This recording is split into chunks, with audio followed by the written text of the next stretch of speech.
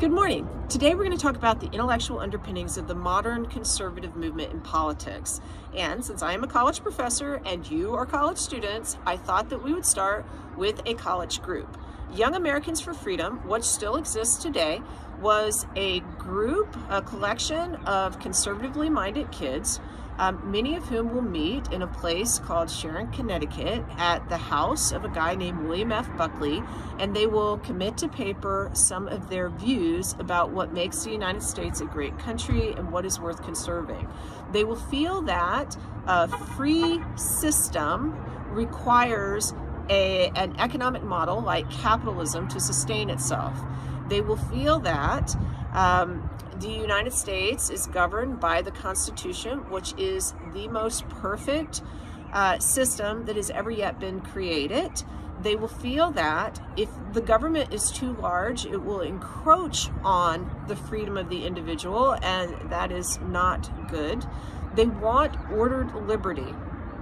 So that is YAF, and they still fight for a lot of those values today. Now, I would be remiss, even though we're talking about the conservative movement, if I didn't mention kind of the, the opposite student group that kind of serves as a bookend in this history. So you have YAF on one side, and then on the other, you're going to have a group called SDS, Students for a Democratic Society form, and they are also going to issue a statement at Port Huron in Michigan. They're going to have more socialist um, ideology, uh, more socialist roots. They're going to be much more friendly to a more egalitarian economic system. Um, they want to push more democracy. They want to expand voices in politics. Um, they they're they're they're very different from YAF in a lot of ways. Now, having said that, I like to point out both of these groups because I think that they express the tensions that have always existed in our society between free markets and having more voices in our political system. Um, to be honest, the United States, uh, we like think back to the 1800s. We were the most democratic society in uh, the world. but as you expand voices, um, you, you, you have kind of a you have a tension because capitalism is a hierarchical system just naturally. You're going to have some businesses succeed, some businesses fail. You're going to have different outcomes. It's not possible within a capitalist system for everyone to have the same material wealth. It just doesn't work that way.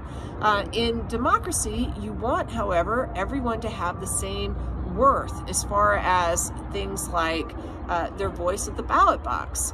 And so it's it's more like here we've got this even playing field in politics. What why do we have this hierarchy? And there's this, this kind of back and forth between these two systems, right? But I, I would say that in some regards, they, they complement each other, even though democracy and capitalism are always pushing and pulling one another.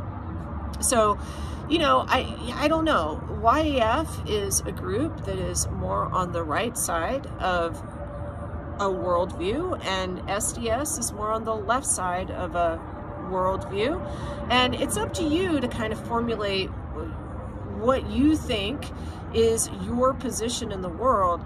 Um, I personally like a little bit from column A and a little bit from column B.